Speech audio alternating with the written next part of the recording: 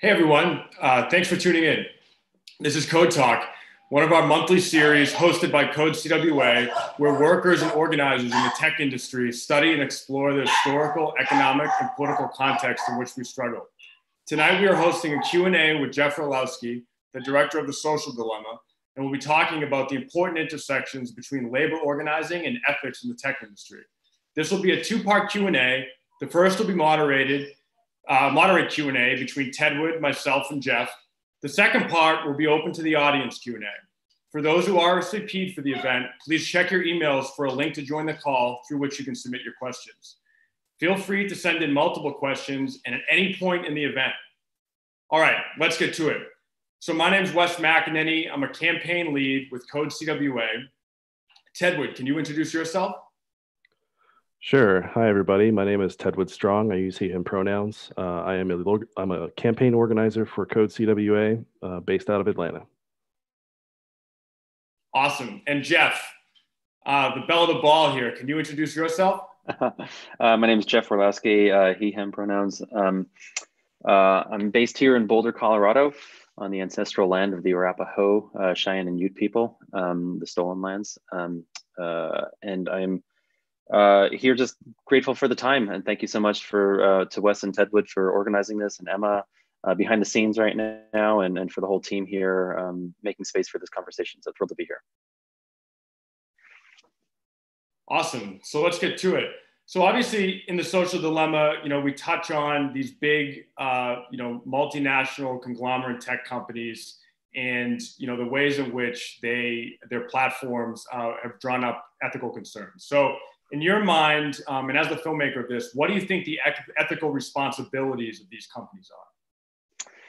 Oh, great question. I mean, I think that's one of the big things that we're just wrestling with in society in general right now the ethical responsibilities of corporations overall.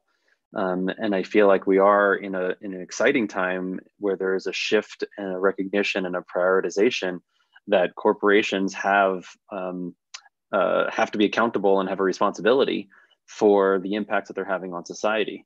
Um, my background with the the past films that we did, Chasing Ice and Chasing Coral, were all about climate change and recognizing, hey, look, corporations are having a crazy impact on society, on, on the world, on the planet. And uh, in many ways, I draw a direct parallel between the fossil fuel industry and the tech industry.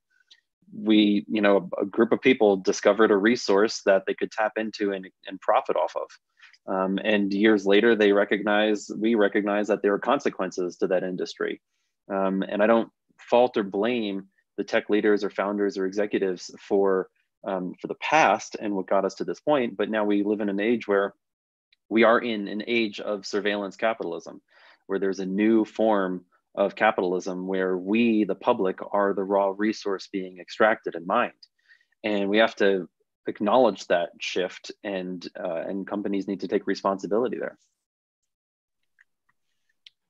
Yeah that makes a lot of sense. There's um, you know obviously a huge enormous responsibility on um, you know the, the owners of these companies and people in the legislative branch of the government. Um, but in what ways do you think the employees of the big five co- tech mm-hmm. companies can change this manipulative business model? Right I think that's one of the big challenging things. Um, there are pressures that can come from within, and there are pressures that can come from without. And um, in in the social dilemma itself, we don't. Our focus wasn't on the big five necessarily. Our focus was on social media and search, and our focus was on the advertising business model, um, because that's where I see the greatest um, sort of uh, imbalance in power you know apple is a huge company but you still pay apple for your phone for your devices for your laptop. There's an exchange where you're spending money for a product and those products are designed for us the public. You know facetime is a great powerful tool that we can use that's built into your iphone when you get it and you can use it to talk to friends and family immediately. Um, so for us the focus really was on this advertising business model that I personally see as the as a real core problematic part of the industry. So that really is that's the Facebooks, Twitters, Instagram, Snapchat, TikTok, and Google itself, YouTube, but Google as a search engine itself. Um, and so the challenge is um, how do we change this business model? where is that pressure going to come from for us to get off of this business model? I, I look at the business model as unethical as burning fossil fuels. And the fossil fuel industry could shift to be an energy industry.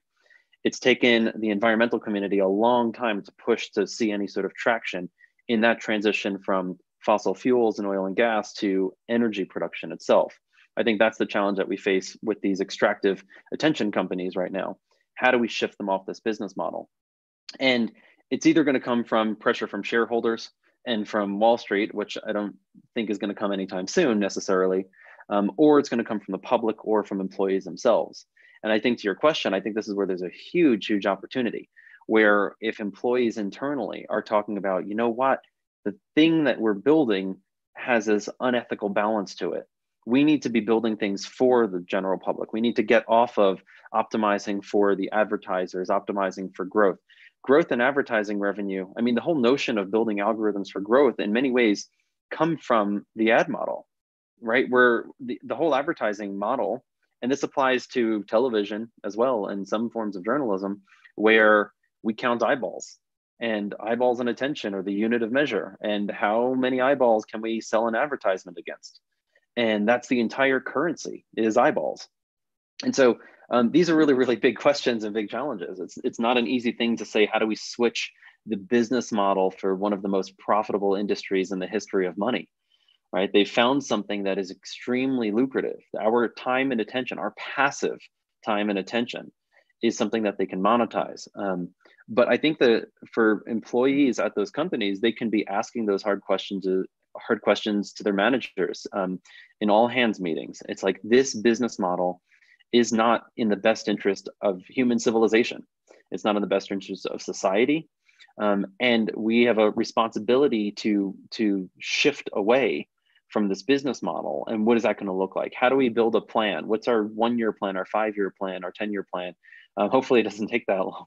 But what's the transition plan to get off of this? Um, just like we need a transition plan to get off of fossil fuels.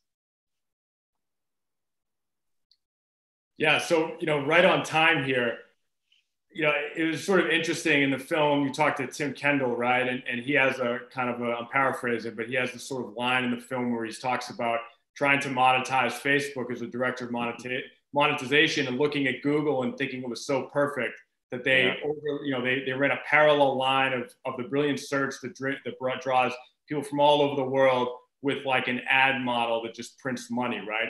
And so, you know, if we're, you know, workers in, in creating internal pressure at these companies, what types of alternative growth models to mon- monetization can these companies pursue yeah. as opposed to ads? Like, have, have yeah.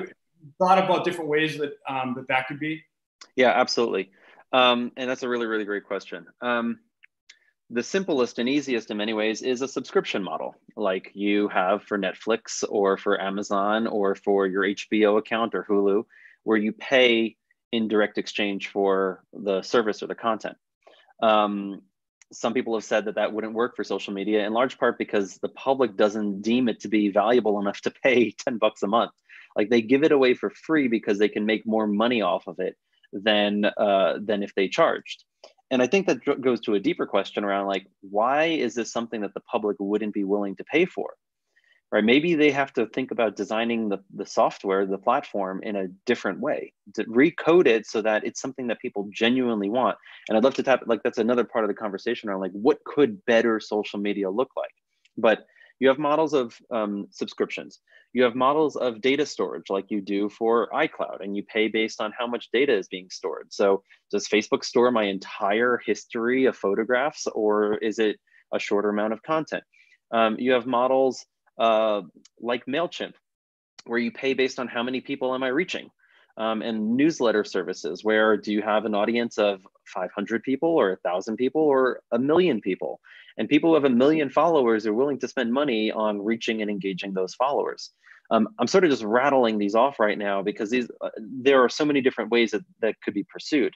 And to be fair, like all of these ideas have consequences in and of themselves, um, for better or for worse. But the the incentive at least is aligned back to the user. If we are paying a subscription for a, a, monthly subscription fee for something that's designed for us, we are the customer and it's being made for us, the users. as opposed to figuring out ways to um, extract data from us to monetize for the purposes. Um, the whole notion of surveillance capitalism um, to profit off of the infinite collection of data from the public and to turn that to, to render that data into something that you can profit off of that entire concept in my mind is a, is a terrible path for us to go down. We're already really really deep into it and we need to figure out how do we extract ourselves from it. Um, and the the hope in the in my mind we're going to get to a point where we need to regulate that where that no longer will be as profitable. And maybe companies will start shifting off of that model to get ahead of the curve to build something and to be a leader that is not based on endless surveillance. Um, and i think that's one of the big opportunities that we have moving forward. But um, back to the question i mean there, there's so many different ways we can be looking at it but it really needs to be aligned for the general public in my mind. Yeah, I agree. One of the the really big challenges that we're going to have is that you know with Twitter, Facebook, and Instagram, like people currently see this as kind of like a town square, like it's it's part right. of their their their ability right. to express themselves freely with free speech. Right.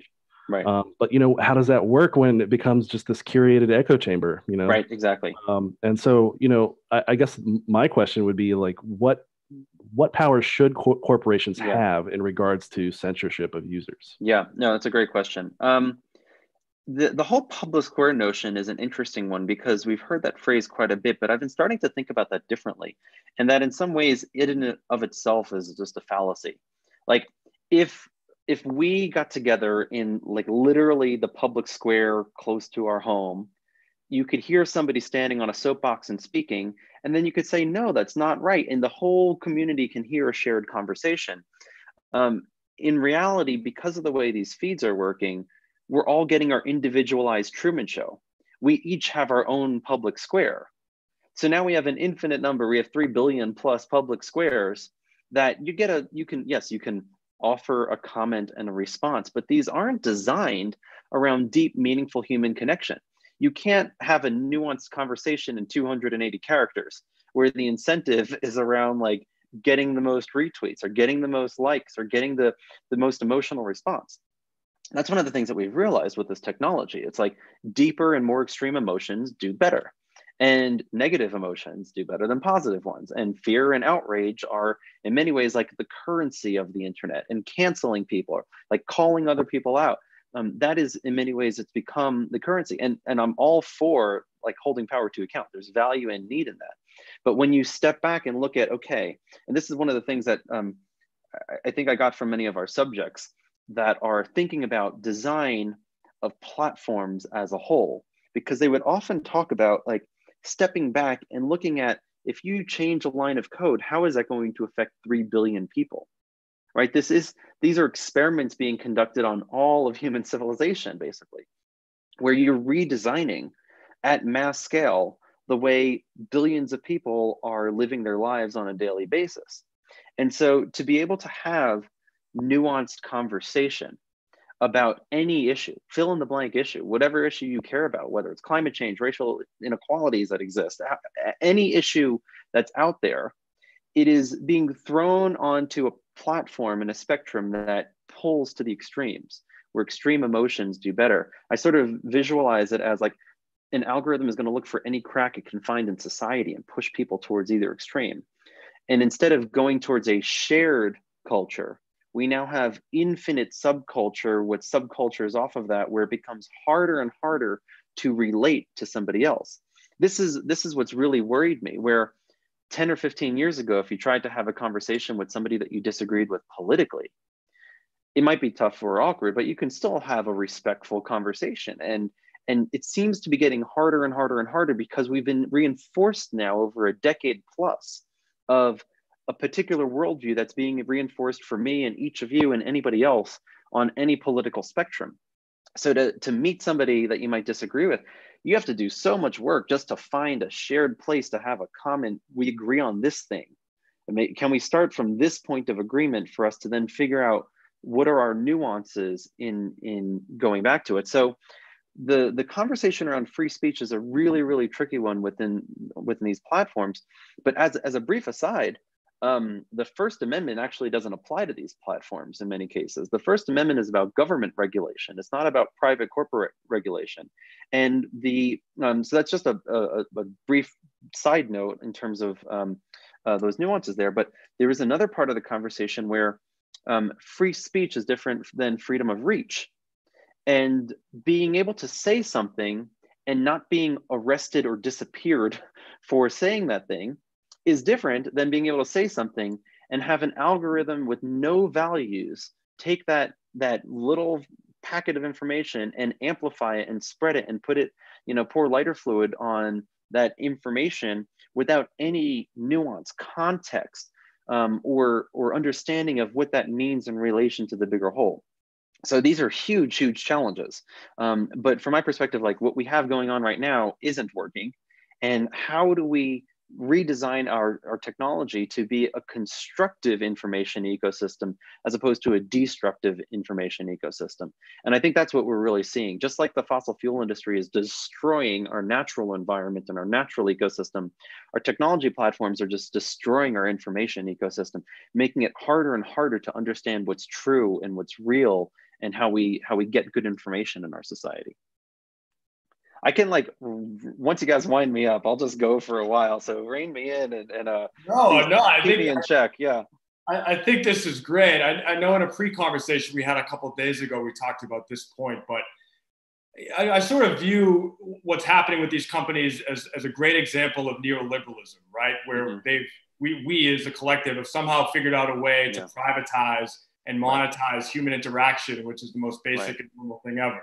So you know, in your mind, and you're touching a little bit, what you, what should these platforms be used for? What would what would be sort of uh, things that that would change the world and better the world? Mm-hmm. Like you know, mm-hmm. so many people in the movie talked about, um, yeah, sort of mythical uh, ethos right. of Silicon Valley. Um, really awesome question. Um, and just to to plus one, the the the neoliberal execution of turning human all human in, engagement into something that they can capitalize off of i mean that is kind of the what we're living in right now. Um, so to answer your question uh, i think you kind of have to throw out the existing paradigm of an infinite feed and what we're used to right now what we're not willing to spend money on but we're willing to mindlessly consume all the time. Um, in large parts because these feeds and these algorithms have reverse engineered what works well on each and every one of us. So of course they're going to know what little nugget of information is going to keep you coming back. Like that's literally what they're optimizing for and, and what they've reverse engineered. But instead, if you think about what would I want to spend money on? What would I want? What, what is something that would improve or um, increase my social fabric, my relationships with my friends and family? And let's just imagine and envision something like that, where, okay, me and my closest 10 friends were connected through some type of platform that is bringing us together on a regular basis, that's engaging us in deep conversation, that's challenging our beliefs, that's exposing us to new ideas, that is facilitating um, big milestones in our lives, helping us go through challenging struggles in our life. Um, I have some friends that are, uh, I have one friend in particular who's in a men's group, and he has a regular recurring cadence and pattern with a group of people that are close in his life. And we've lost in many ways those parts of society. We've lost our tribal council fire. We've lost, uh, for many people, um, the church used to be that, or for society that's been that for a long time. And I think many people don't have a place like that where they can have deep, meaningful, close family ties and friendships um, and, and those bonds. So imagine uh, a, a social media, a social technology that was deeply engaging in human social connection. I, I just pose that, I put that idea out there as in like, please somebody take it and run with it and make something that I want to pay for that's going to build a stronger relationship with people that are close to me. And and I can get my news from news organizations and not expect a news feed to be the thing that is reverse engineered all like literally my weakest vulnerabilities on what I will continue scrolling through because the goal is is to just get me to see more ads so i am personally i'm really optimistic around this idea that there will be technology that inspires us that makes you want to use it. Some example, I, I mean, I, I go to masterclass on a regular basis, which is a great platform that I pay for to learn deep, nuanced conversation. Um, there's a new social media platform called Clubhouse that's out now, which they're still figuring out a monetization model, but it's something that when I use it, I, I feel informed. I feel like a, there's a deeper connection to ideas. Um, so there are different ways technology platforms can provide um, content and, and ideas and, and inspiration to all of us that don't require the endless um, attention extraction model that we're, we're dealt with, that we're dealing with right now.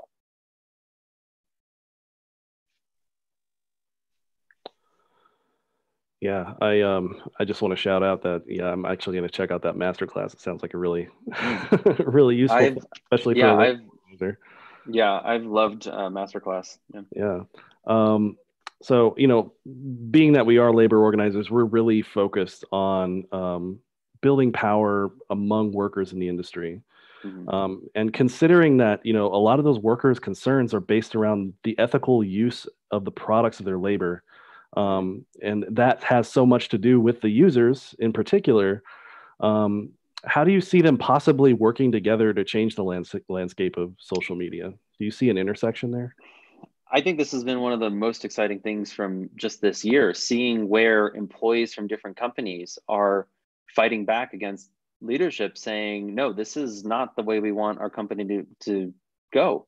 This is not what we want our climate policy to be. This is not how we want our um, algorithms being used. No, we don't want to engage in that government contract and that military contract. No, we don't want to um, participate in fill in the blank issue. So I, I, think it's it's been incredibly exciting in my mind to see um, um employees from different um, major companies and major tech companies saying, no, we have to shift our values and we want to be on the right side of history. And I think there's been a gap between recognizing the um, the failures and the, the faults of some of the companies. I think, you know, in many ways, this film, The Social Dilemma, exists because um, I was very, very close to the tech industry from college and many friends who went to work in the tech industry. Um, and it was kind of those friendships and, and that proximity that um, both gave me access and interest in the story in the first place. Um, but there was a very long period of time where I, myself included, I think many of us had the rose colored glasses on of the inspiring tone and message of changing the world through these technology platforms. Um, and I, I, think it went from those inspirational tones to now recognizing really the full extent of the, the potential consequences of these platforms. And now we're in this era where we're seeing those consequences. And it's going to require a big shift. Um, like, like we said earlier, shifting a business model is not an easy thing right? And we've gone so deep into investing in this particular business model that I, I'm under no illusion that it's going to shift quickly. Yet it all it only increases the need to keep putting pressure on this business model is unsustainable for human civilization. I would take it to that level, right? We can just like we look at the burning of fossil fuels is unsustainable for human civilization.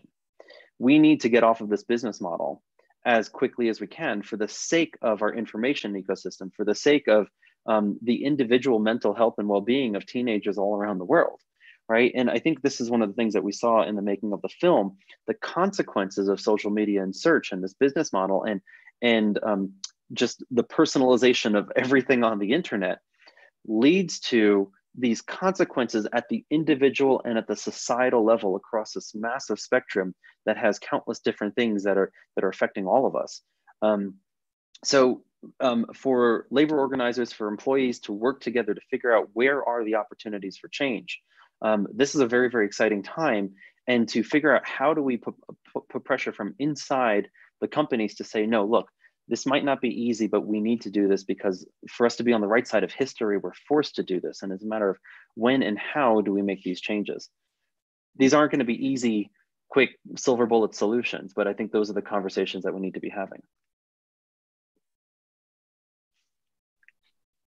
Yeah, I, I completely agree. You know, one thing that I'm, we're sort of interested in, and, and, you know, I think you do sort of a good job in the film of, of trying to, you know, um, show what happens in real life due to these platforms. But sometimes we want to sort of construct the future to try to deconstruct the present. Right. So what what worries you most about the future of society if these companies and these platforms continue to use addiction, you know, to right.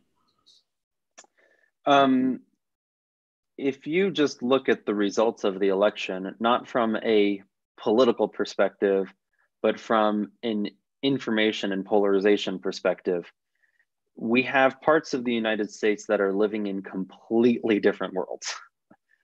and we are getting exposed to completely different information. And so many people have referenced this election as a battle between good and evil. But based on what side of the political, political spectrum you land, you can replace whatever candidate for good or evil, right? We are in an extremely polarized point in American history. And unfortunately, based on how these algorithms work, I don't see that getting better in the next four years.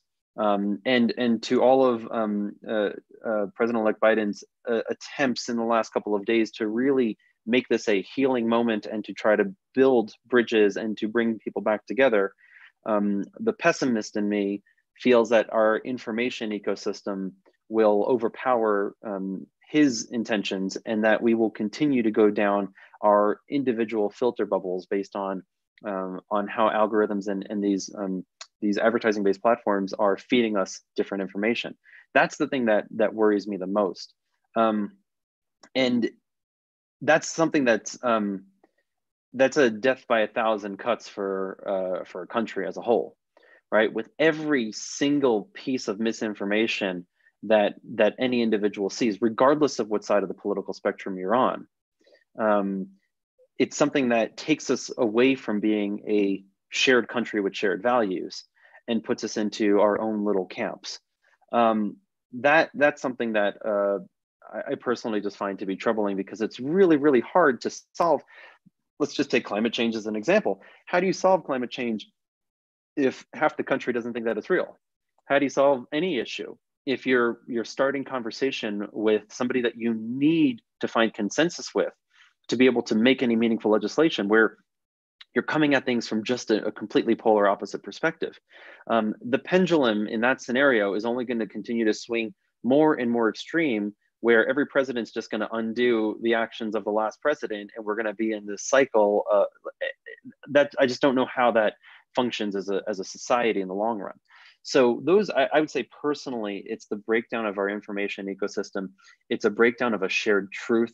It's increased polarization that leads to um, as Tim Kendall references in the film, his worst case scenario is a civil war. And I don't want to like put that energy out into the world, but that's that is a worst case scenario of um, just constant polarization. I'm looking for all the ways to build empathy and to build bridges.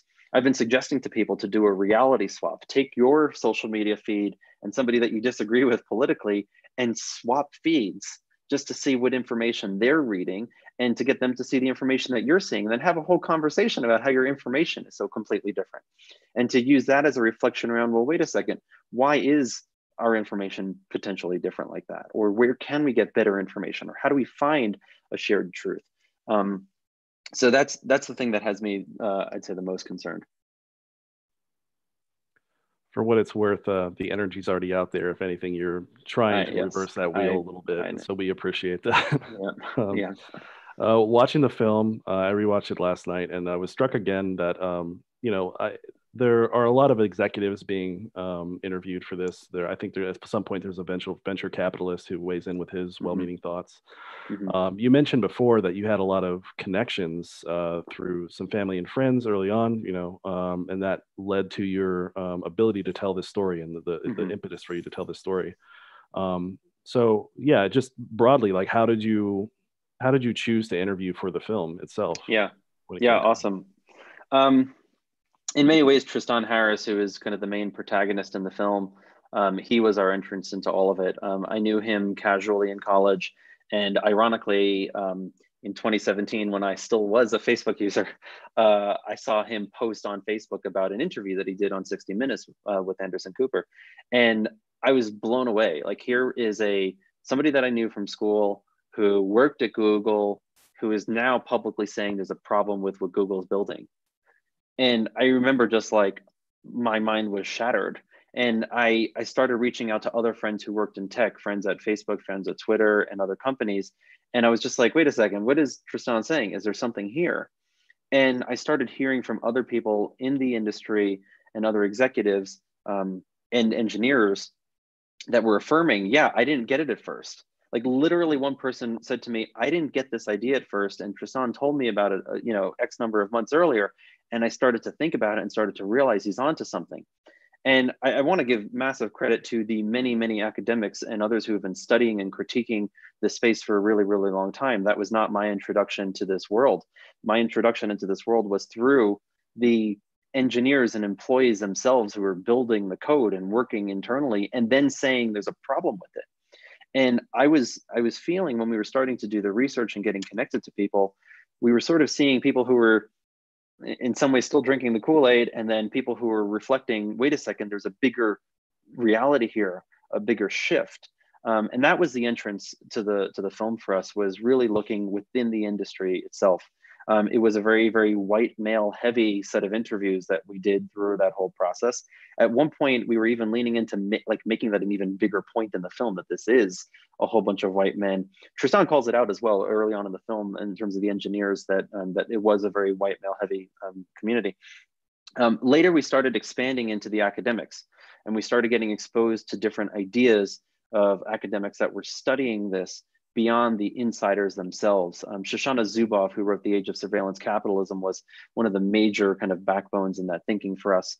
Um, but then we were able to bring in Rashida Richardson, Anna Lembke, um, uh, a, a, more diverse group of people who have been studying consequences about the business model. And that's kind of in the middle section of the film um, where we were kind of expanding that perspective.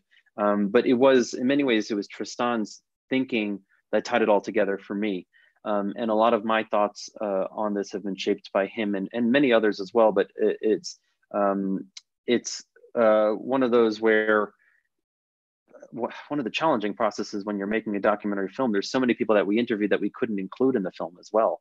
So we've got I don't know maybe 15 people who we did long interviews with that are on hard drives um, that we couldn't work into the film. But um, there are so many brilliant minds uh, that that are working on this.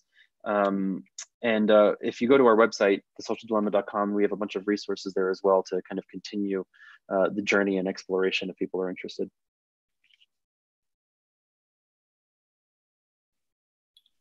Thanks so much.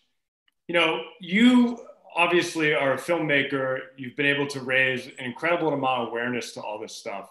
And, you know, but we're, we're sort of wondering, like, what are different types of ways that workers can get their stories out workers that have been working on this like have you have you thought about you know ways to to put this in the zeitgeist um, uh, that workers could take action on um, great question. Do you mean do you mean um, how workers can get stories from within companies out to the public, or what do you mean? Can you just clarify that? Yeah, yeah exactly. Um, that's a really really great question. Um, um, it makes me feel like there's a greater need for a whole network of internal companies that are wanting to, uh, internal employees from companies that want to share their thoughts. Um, in one low hanging fruit opportunity, um, if there are ways that the social dilemma and our team can help partner, um, people can reach out to us directly via our website. Um, and if there are stories that you think might be worth us elevating and sharing, um, please let us know. Um, I think it's a really, really great question. And I think this is one of the challenges um, of we live in a really, really noisy information ecosystem right now. And it's really, really hard to get your stories to kind of crack through. Um, uh, in, in the world that we're operating in with feature films, there's kind of a, a set routine around you make a film and you premiere at a festival and hopefully gets picked up. And, and that's how a lot of filmmakers try and aspire to get stories out there. Um, but we live in an ecosystem where there are lots of opportunities for short form content for different types of pieces to to see the light of day. Um, I think it's just one of the challenges that all content creators are struggling with around how do you get your story out there and to get seen. One of the things that I think is really important for us is to also figure out how do you break beyond the choir? How to get your stories beyond the same echo chamber that is always talking about a particular story. This is something that we dealt with very, very heavily with our climate work, where we realized the people who were seeing Chasing Ice and Chasing Coral had watched every other climate movie that had ever come out. And we weren't changing people's opinions. we were reinforcing in a really, really positive way people who already understood the message. But we then had to figure out how do we do more with our films? And this actually is what gave birth to our team doing impact campaigns with our films, where in many ways the goal and the objective was to figure out how do you build a wider and more inclusive audience beyond a particular um, echo chamber so that you can get more and more people into the conversation. I think this is one of the challenges that um, that lots of different organizations face around how do you get um, how do you get out and break beyond the choir. Um, there's no, I don't think there's an easy super silver bullet solution on that one. Yeah, I mean that was uh, kind of the crux of one of the questions we wanted to ask you. So I'm glad I'm glad you got into that. I think we can start getting into some of the Q and A uh, from the cool. folks attending the, the chat. Um, I've got a really challenging one here for you, and I, you know, kind of interested to hear the answer to this as well. Um, isn't surveillance capitalism kind of an oxymoron? How could a capitalist system exist without constantly tracking workers and the consumers of the products they create? Um, that is a that's an interesting question. Um, uh, the thing that I think is an oxymoron is the idea of personalized news, but I'll put a pin in that because um, that is really, in many cases, what each of us is scrolling through. Um, I think the way Shoshana Zuboff is referencing surveillance capitalism there is less a matter of um, here. Here's the the distinction. I think it's not the companies themselves. It's not um, the company that's trying to sell a product that is infinitely tracking there are now middle middlemen and it's the corporations that are the surveillance capitalists. It's the google and the facebook and the twitter that are collecting all the information about everything that we do online and capitalizing off of that. Um, and amazon fits this description as well and, and many other companies where um, it's figuring out how to use the all the nuances of our daily existence and our digital existence, whether it's your GPS tracking and where you go and what stores you frequent, um, or it's which websites you go to. Facebook is tracking, even if you're not logged into Facebook. Any website that you go to that has a Facebook like button on it is sending information back home on this user on this particular computer at this IP address is going to these types of websites on a regular basis. So it's tracking a profile around you even if you're not actively engaging in Facebook itself or using Facebook itself. That same technology applies to lots of different platforms. So um, I, I, there's a there's a great deeper conversation around the question, but I think in this particular case, it is a really new form of of capitalism where it's not a product being sold it's access to people like you that are being sold. It's access to taking all of the data that's collected about you and rendering that um, by a, a, corporation rendering that into something that they can monetize off of that is the unique aspect of time that we're living in now. So everything that we do our entire digital existence is being turned into somebody's profit in many cases or attempting to in many cases. Um, so that's that's i think the uniqueness of what shoshana zuboff is trying to say. Thanks. We're going to sort of talk a little bit more about um, the political aspect. You know washington has been looking a lot at antitrust laws to regulate the tech. Uh, do you think that these laws will be enough to make any meaningful change, or do you think you know we need new modern le- legislation? And if so, you know what what types of ideas do you have? Yeah, um, I feel like uh, antitrust is hopefully like a good first step. like it is by no means going to solve the problem antitrust takes Exxon Mobil and turns them back into Exxon and Mobil, and you still have fossil fuels being burned, right? Um, uh, it is not going to address surveillance capitalism. It's not going to address the business model of attention extraction. Um, but hopefully, as it did with Microsoft many years ago, it's going to be a shake-up reminder for the companies that you can't get by indefinitely without regulation, and that Washington is now starting to finally pay attention to the fact and the need that we the, the, to the need of regulating these tech companies that have gone unregulated for most of their existence. Um, this has been one of the most unregulated industries, um, and they've argued um, you can't regulate us or China's going to win, or you can't regulate us because you're going to um, you know limit new technology and new creation, and that that is just so far from the truth in my mind. Um, we um, if we allow these technologies to continue in this pattern, we're just going to continue to break down our society and the fabric of society. And there's far greater harm in that and so we need meaningful legislation.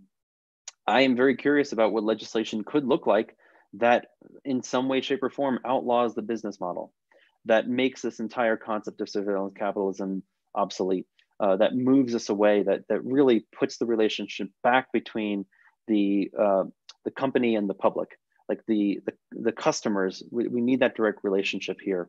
Um, I've heard some people describe it as a three-sided marketplace. And when I first heard that, I was kind of taken aback and I was sort of confused. And I was like, but no, we're not equally. There's the three sided marketplace being the company, the advertiser, and the general public. But we are passive consumers. We're not we're not exchanging in a fair exchange with those other two parts of the equation. And in, many cases, the public isn't even aware of how the advertising world is working on these platforms. So we're the un unwilling victims, in my mind, of this um, exchange and, and that entire thing needs to be flipped. Well, so to that end, um, you know, we've been playing this game since you know we were since 1700, since we've had yeah. capitalism at all. Um, and you know, one of the the main themes, like you draw uh, allusions and, and al- analogies to the fossil fuel industry. They have an enormous um, influence on our our public, our, our politics. You know, for, at every level. Um, and so, you know, do you think an intermediate step or maybe a, a, solution would be to break these companies up? Like, I mean, they are obviously too big, but um, yeah, I, it, it's a challenging thing in that just breaking them up, I don't think gets to the root cause of the problems, right? My, if I had a single silver bullet of like, if I became a politician one day, this is what I'd want to run on. My, I have had this idea for a long time that we have this notion in this country of innocent until proven guilty, and that applies to people in our in the in the justice system. Yet that should not extend, in my mind, to capitalist um, organizations, where um, they get away with externalities. And I think this is the biggest singular theme. And in, in, if I could draw a circle over the majority of the problems that I've been thinking about, are the externalities of our fossil fuel industry and of our tech industry, and things that they don't have to pay for that society has to deal with. And um, if I could do anything, in my mind, it would be to flip that equation that corporations are actually guilty until proven innocent. And you have this type of corporation, and we expect your consequences to be on this ledger here. And you can get your tax rebates by proving and showing your receipts that you're not doing the worst case scenario. And if you're a great organization doing great things, it'll zero out at the end of the day or even be better for you financially. What we have right now is a model where, okay, if you're a, a company and you break one of our environmental rules, maybe there's a slim chance that a regulatory organization will catch you in the act and fine you a small amount where everything in that equation is financially worth it for you to actually go and do that thing and to pay the fine retroactively. That's like financially the best move for you to do. If that's our society and if that's the the incentive structure around a corporation, they will always do that that bad thing even if they get caught right? We need to flip that whole model. We need the fines to be bigger. We need the consequences to be bigger. And we need the um, the regulation to be stronger such that the companies are incentivized to do the right thing on their own. That's really in my mind what government can provide. That is what the the structure could provide to, to set up the incentives and the disincentives to make it automatic for companies to do the right thing. Now, maybe that's way too uh, the heavy hand of government for many people, um, but that that's the thing in my mind around like if we could flip the equation, um, then you can let the free market do its work. We live in a system where the free market isn't a free market because it's being subsidized by the government and by externalities. The the the externality factor is massive, and so um, that that's one of the things where I don't know in my dream scenario that would be flipped. Um, I don't know how that comes to reality, but um, just once again putting that idea into the world.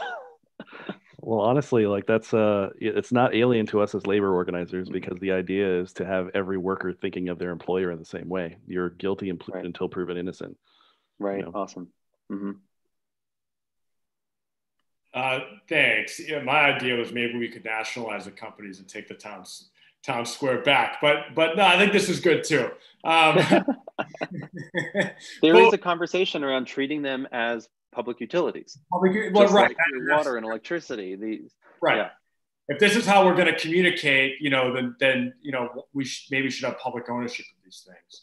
Right. Um, but to that end of regulation that you've talked about, uh, you know, previous media, pl- like what what examples of successful regulation from previous media platforms can we draw on? This one's coming from the chat.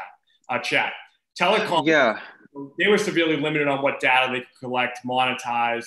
Newspapers, you know, they have the equal access access doctrine. Are there others that, that you can that you draw from um, as parallels to the past? Um, the first thing that came to mind was telecoms and and regulation there, which has been very very meaningful.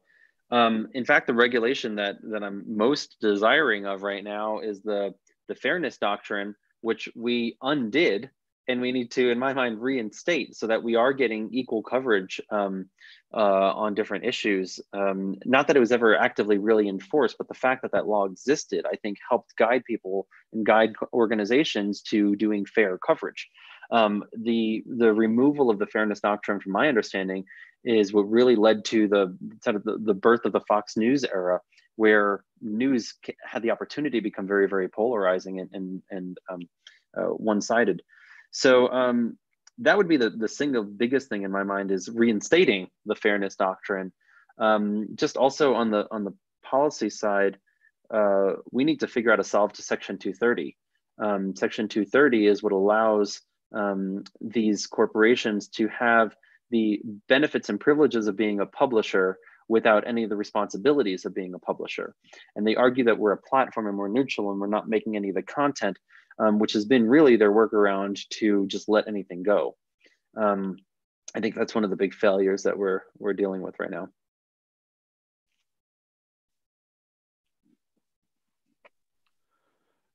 Great. Uh, Wes, do you have any other questions you want to ask? I think we have, maybe we could take one more here from uh, the audience. Oh. Um, you know, for as long as we've had broadcast content, magazines, TV, radio, we've had advertising, which also works to manipulate human weakness to change behavior. Is it possible the real blame is in advertising and capitalism more generally, rather than the existence of platforms that use it to monetize? Um, okay, so there's a lot in that question. We're talking about advertising itself, but then capitalism more generally. I definitely agree with the capitalism more generally part of that frame. Um, in many ways, uh, advertising is just a tool of capitalism, and in many ways, these platforms now have become a tool of capitalism. Um, uh, and so, when you look back at what are these uh, companies offering, um, Facebook and Twitter and Google, in many ways, um, they are tools for advertisers first and foremost. Um, to the point where they've massively shifted the rest of the advertising industry.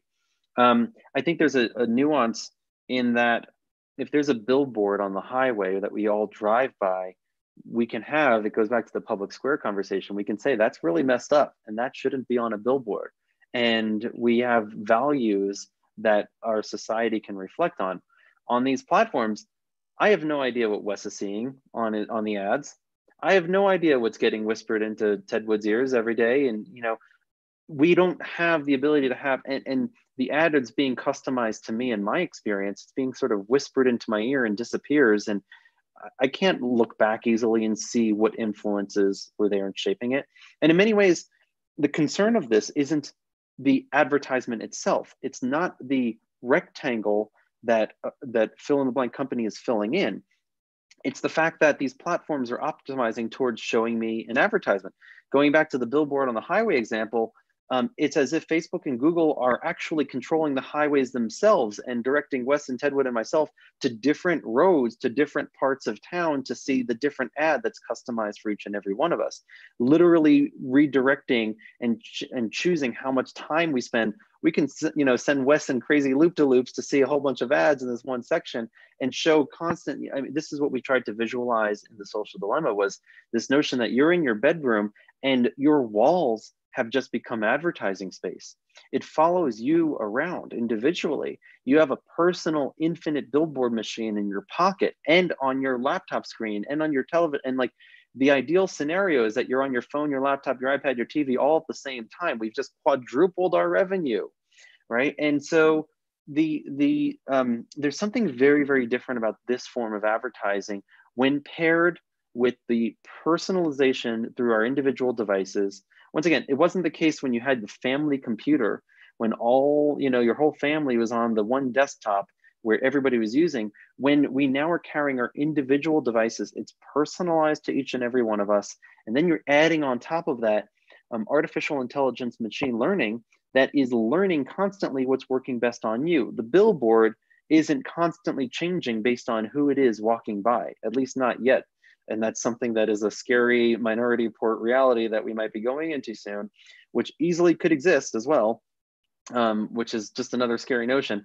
Um, but it is this to me this is a very very different evolution. It's not like a small iterative um, advance in weapon technology. We went from like the gun to the atom bomb. Like this is uh, this is a big leap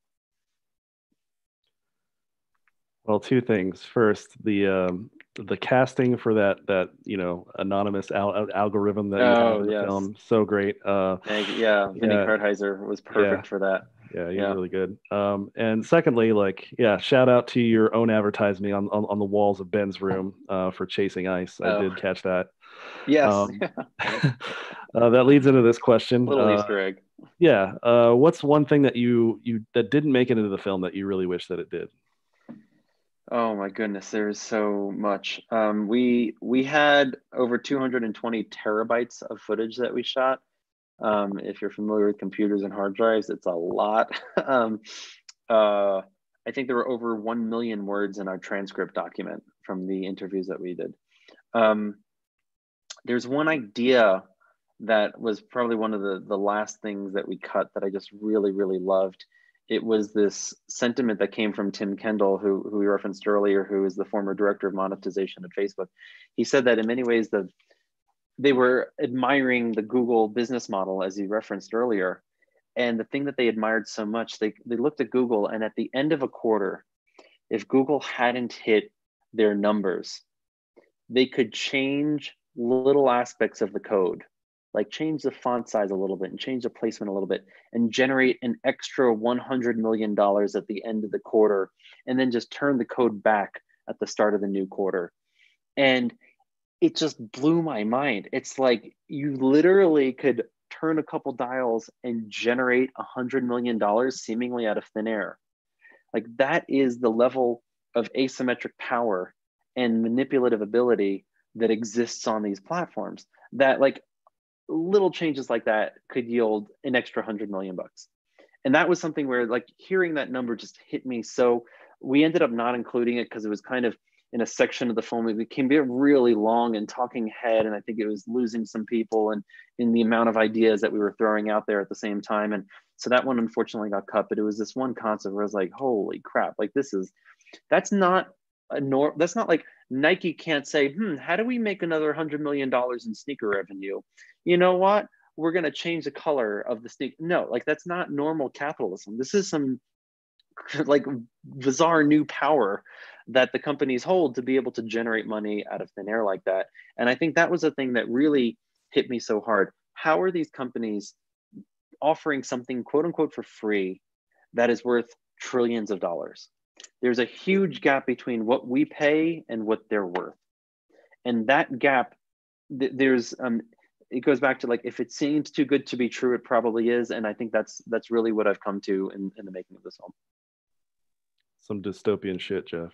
Yes, that's my that's dude. That's my whole world. From the climate dystopians to the tech dystopians, it's just been a, a decade of uh, pick your existential threat. So I think we have time for one more question in here, and maybe that we just went really big. So now maybe exactly, we'll we can, yeah, sort of more, more, granular that that uh, is is coming conceivably from a worker here. Working on personalizing features for one of these large tech companies, I've found, unsurprisingly, the dollar drives everything we do with users' data. Yeah. How do you think me and my coworkers can start to shift the culture and conversation when the company has such a clear and large profit motive to engage in this behavior?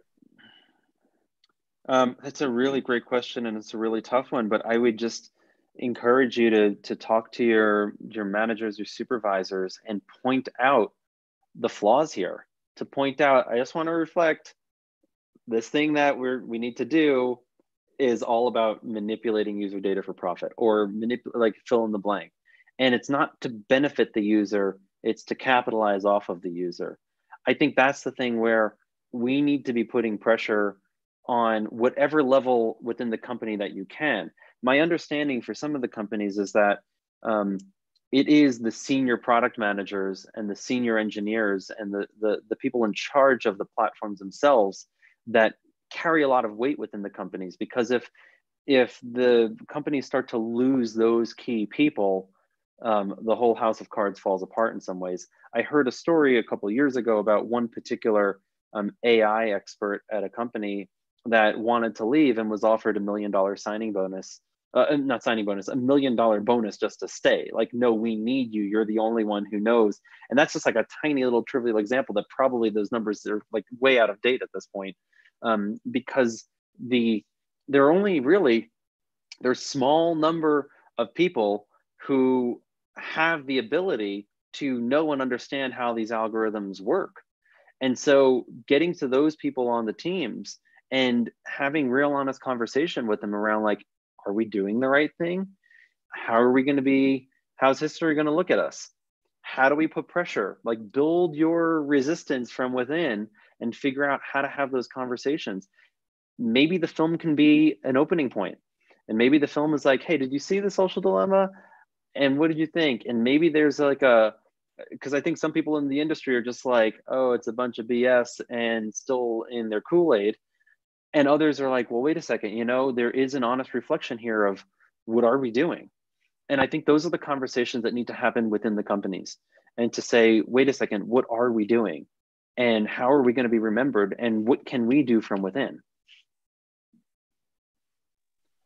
I am ultimately just on uh, like i despite the overwhelming weight and heaviness of these issues i do find myself an optimist. I, um, there's a, a line from Jaron Lanier that um, it's it's kind of in the film, but it kind of got watered down from like the full essence of what he was saying because um, people in the industry used to ask him, "Why are you so pessimistic? Why are you so skeptical?" And and he was like, "Wait, I'm not pessimistic. I'm a critic because I'm an optimist because I believe it could be better."